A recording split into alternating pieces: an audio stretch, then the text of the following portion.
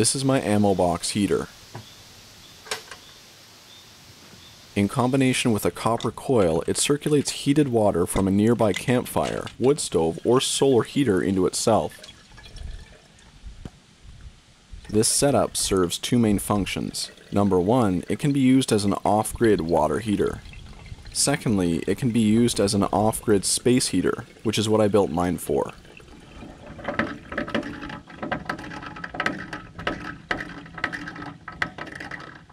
Last year I constructed a snowmobile camper.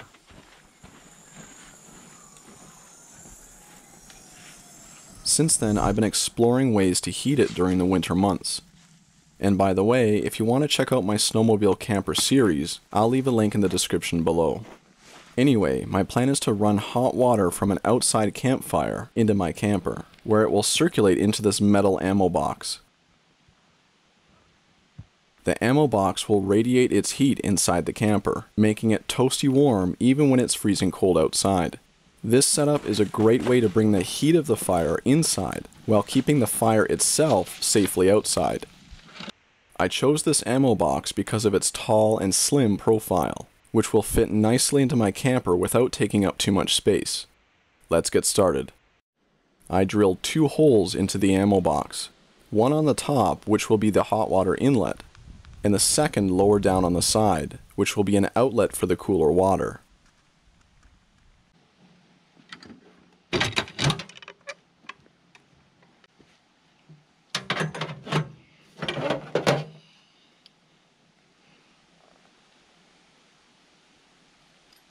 For the valves, I purchased a couple rain barrel spigots. I found that they created a good seal against the tank, and the nozzles were threaded, which is perfect for easily connecting and disconnecting the water lines.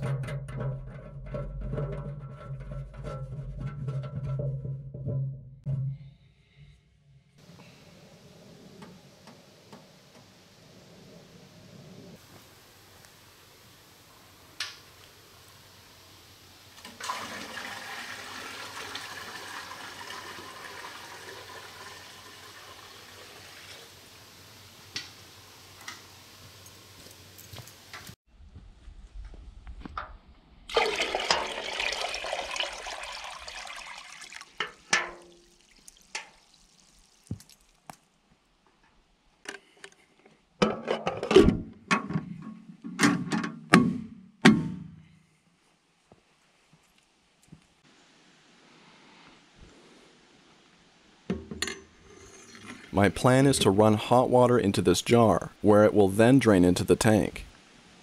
The jar isn't necessary, but I added it so that I could watch the water circulate. For the water lines, I used metal braided flexi hose.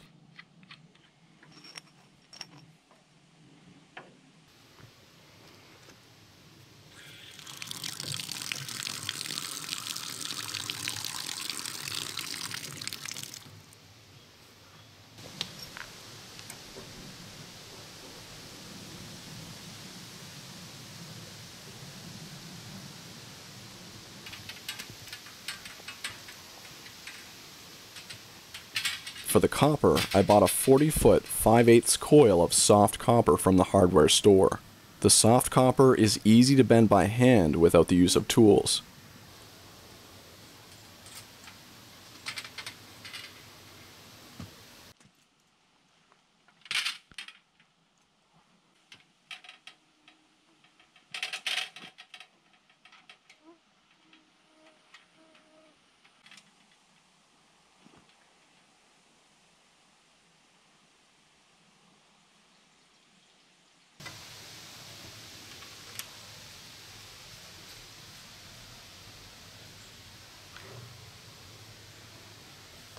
Finally, I added an aquarium water thermometer to the tank.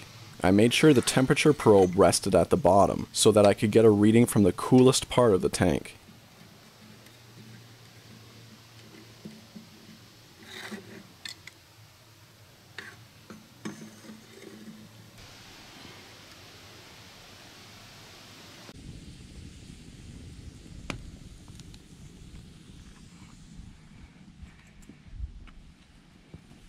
Now it was time to test my creation.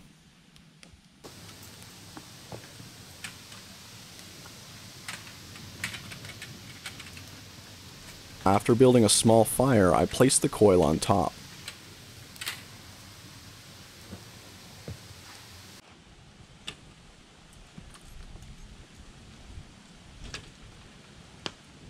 Almost immediately the hot water began to flow,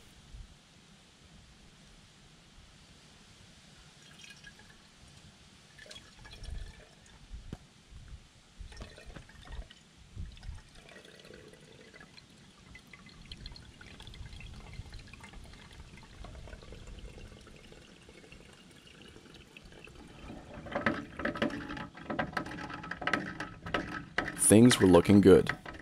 That is, until steam started blasting out of the top.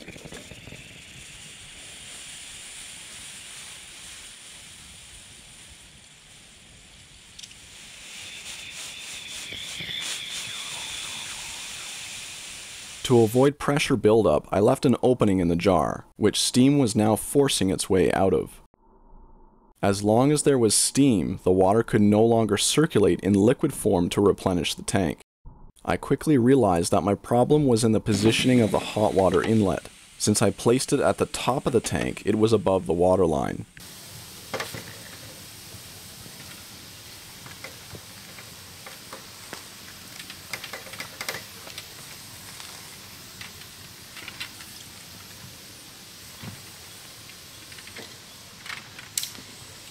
So I got rid of the jar and drilled a new inlet hole higher up on the side of the tank.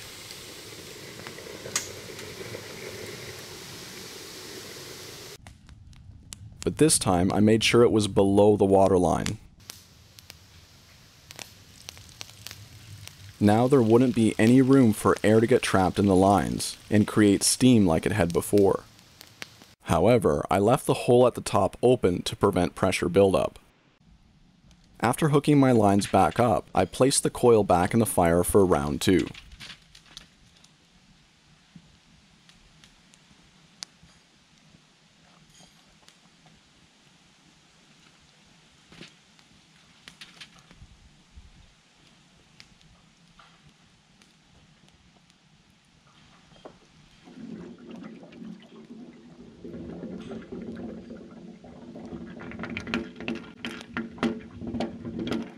This time, everything worked perfectly. Almost right away, I could feel hot water jetting in through the upper intake valve. Here's what it looked like from the inside of the tank.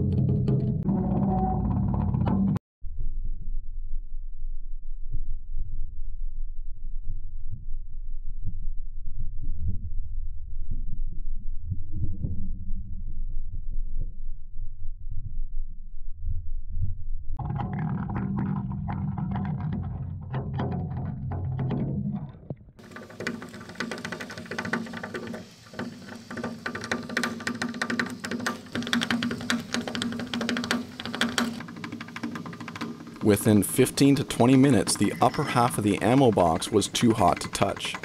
The bottom of the tank registered 30 degrees Celsius, or 87 degrees Fahrenheit, while the top of the tank was twice as hot at 70 degrees Celsius, or 155 degrees Fahrenheit. My ammo box heater operates on the method of thermosiphoning, which is based on natural convection the heated water in the coil naturally rises within the tubing, while the cooler, more dense water sinks back into the coil, where it reheats and rises again. The longer the water is allowed to circulate, the hotter it becomes.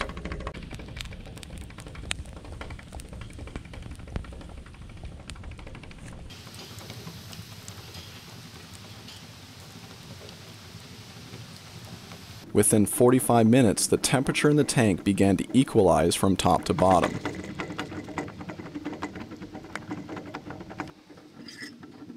And in just under an hour, the tank began to slowly boil.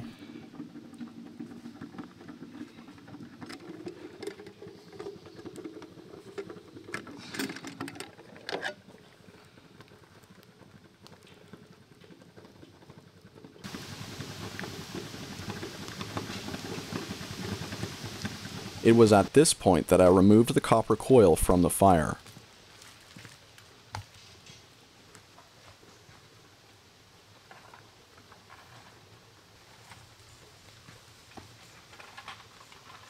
Two hours later, the tank was still burning hot at approximately 70 degrees Celsius or 160 degrees Fahrenheit. Overall, I'm extremely pleased with how efficient the ammo box heater is. I still want to tweak the system a little bit to improve upon the design, but I couldn't be happier with the initial results.